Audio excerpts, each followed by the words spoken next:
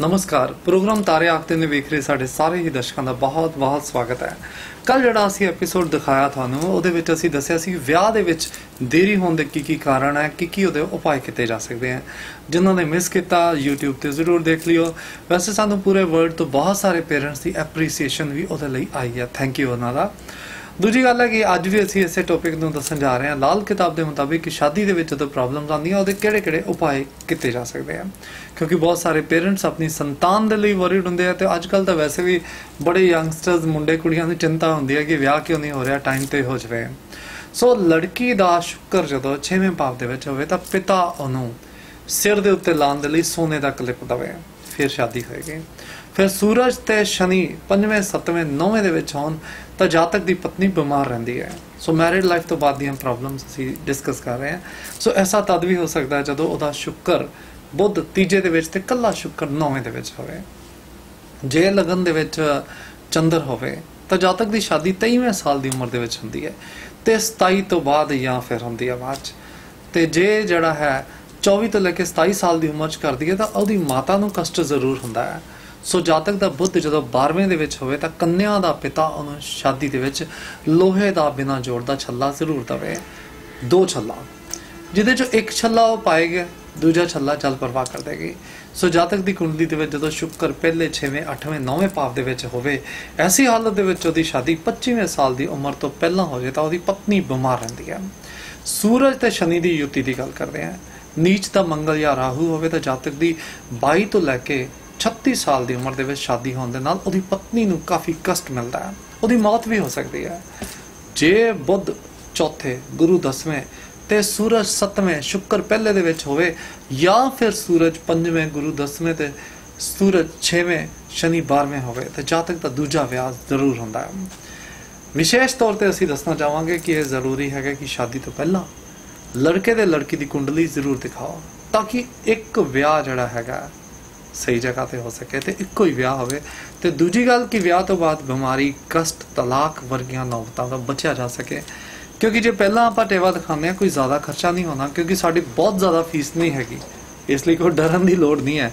ਲੇਕਿਨ ਜੇ ਵਿਆਹ ਤੋਂ ਬਾਅਦ ਪ੍ਰੋਬਲਮ ਆ ਜਾਏ, ਫਿਰ ਉਪਾਅ ਬਹੁਤ ਮਹਿੰਗੇ ਹੁੰਦੇ ਆ, ਰਤਨ ਬਹੁਤ ਮਹਿੰਗੇ ਹੁੰਦੇ ਆ, ਫਿਰ ਜ਼ਿਆਦਾ ਦਿੱਕਤਾਂ ਜ਼ਰੂਰ ਆਉਂਦੀਆਂ।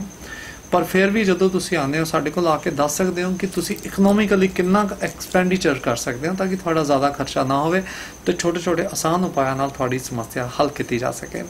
ਹੁਣ ਅੱਜ ਦਾ ਰਾਸ਼ੀਫਲ ਮੇਸ਼ ਰਾਸ਼ੀ ਵਾਲੇ ਅਚਾਨਕ ਤਾਂ ਆ ਸਕਦਾ, ਜਦਕਿ ਵਰਿਸ਼ ਰਾਸ਼ੀ ਵਾਲੇ ਅੱਜ ਦਾ ਦਿਨ ਜਿਹੜਾ ਬਿਜ਼ਨਸ ਅਗਾਹ ਵਧਾਉਣ ਦੇ ਲਈ ਕੋਈ ਅੱਛੀ ਪਲੈਨਿੰਗ ਆ ਸਕਦੀ ਹੈ। ਮਿਥੁਨ ਰਾਸ਼ੀ ਵਾਲੇ ਵਿਦੇਸ਼ ਨਾਲ ਸੰਬੰਧਿਤ ਪਿਆਰ ਦੇ ਤਾਰ ਜੁੜ ਸਕਦੇ ਹਨ ਕਰਕ ਰਾਸ਼ੀ ਵਾਲੇ ਬਹੁਤ ਭੱਜ ਭਾਜਦੌੜ ਭਰਿਆ ਸਮਾਂ ਹੈ। ਸਿੰਘ ਰਾਸ਼ੀ ਵਾਲੇ ਰਾਹ ਚੱਲਦੇ ਕਿਸੇ ਨਾਲ ਲੜਾਈ ਹੋਣ ਦੇ ਚਾਂਸਸ ਬਣ ਸਕਦੇ ਆ। ਤੁਲਾ ਰਾਸ਼ੀ ਵਾਲਿਆਂ ਨੂੰ ਜਿਹੜਾ ਹੈ, ਅੱਜ ਜੋ ਚਾਹੋਗੇ ਮਿਲ ਸਕਦਾ ਹੈ। ਵਰਿਸ਼ਚਿਕ ਰਾਸ਼ੀ ਵਾਲੇ ਜਾਤਕ, ਨਾਮ, ਮਾਨ, ਸਨਮਾਨ ਖਰਾਬ ਹੋ ਸਕਦਾ ਹੈ। ਕੇਅਰਫੁਲ ਰਹੀਓ। ਤਨੂ ਰਾਸ਼ੀ ਵਾਲੇ ਜਾਤਕ, ਜਿੱਥੇ ਵੀ ਜਾਓਗੇ, ਤੁਹਾਡੇ ਝੰਡੇ ਲਹਿਰਾਉਂਦੇ ਰਹਿਣਗੇ। ਮਕਰ ਰਾਸ਼ੀ ਵਾਲੇ ਜਾਤਕਾਂ ਦੇ ਲਈ ਅੱਜ ਦਾ ਦਿਨ ਜਿਹੜਾ ਹੈ ਥੋੜਾ ਕਸ਼ਟਦਾਇਕ ਹੋ ਸਕਦਾ ਹੈ। ਕੁੰਭ ਰਾਸ਼ੀ ਵਾਲੇ ਜੋ ਚਾਹੋਗੇ ਅੱਜ ਤੁਹਾਡੀਆਂ ਤਮੰਨਾ ਜ਼ਰੂਰ ਪੂਰੀ ਹੋ ਸਕਦੀ ਹੈ ਕੁੰਭ ਰਾਸ਼ੀ ਵਾਲੇ ਵਿਆਜ ਨਾ ਲੈਣ ਅੱਜ ਤਾਨਾ ਵਿਆਜ ਤੇ ਲੈਣ ਪ੍ਰੋਬਲਮ ਆ ਜਾਏਗੀ। ਤੇ ਮੀਨ ਰਾਸ਼ੀ ਵਾਲੇ ਟਰੈਵਲਿੰਗ ਦੇ ਵਿੱਚ ਅੱਜ ਬਿਜ਼ੀ ਰਹਿਣਗੇ, ਬੜਾ ਵਧੀਆ ਦਿਨ ਨਿਕਲ ਸਕਦਾ ਹੈ। ਸੋ ਬਹੁਤ ਸਾਰੇ ਦਰਸ਼ਕ ਪੁੱਛਦੇ ਆ, ਸੁਖਵਿੰਦਰ ਜੀ, ਅਸੀਂ ਵੀ ਆ ਕੇ ਤੁਹਾਨੂੰ ਮਿਲਣਾ ਚਾਹੁੰਦੇ ਹਾਂ, ਤਕਦੀਰ ਦਾ ਹਾਲ ਜਾਨਣਾ ਚਾਹੁੰਦੇ ਹਾਂ। ਤੁਹਾਡੇ ਤੋਂ ਰਤਨ ਤੇ ਰੁਦਰਾਕਸ਼ ਲੈ ਕੇ ਪਾਉਣਾ ਚਾਹੁੰਦੇ ਹਾਂ, ਵਾਸਤੂ ਦਾ ਵਿਜ਼ਿਟ ਕਰਾਉਣਾ ਚਾਹੁੰਦੇ ਹਾਂ, ਨਕਸ਼ਾ ਚੈੱਕ ਕਰਾਉਣਾ ਚਾਹੁੰਦੇ ਹਾਂ। ਸੋ ਇਹਨਾਂ ਸਾਰੀਆਂ ਚੀਜ਼ਾਂ ਦੇ ਲਈ ਸਭ ਤੋਂ ਪਹਿਲਾਂ ਤੁਸੀਂ ਟਾਈਮ ਲੈ ਸਕਦੇ ਹੋ, ਫਿਰ ਆ ਕੇ ਪੁੱਛ ਸਕਦੇ ਹੋ। ਸਾਡਾ ਪਤਾ ਨੋਟ ਕਰ ਲਓ astrologer Sukhwinder 30G Sarabha Nagar Ludhiana, Punjab India phone number 9417020533 ਤੇ WhatsApp ਨੰਬਰ 9872620533 ਟੈਲੀਫੋਨਿਕ ਅਪਾਇੰਟਮੈਂਟ ਵੀ ਤੁਸੀਂ ਲੈ ਸਕਦੇ ਹੋ ਫੋਨ ਤੇ ਪੁੱਛਣ ਦੇ ਲਈ।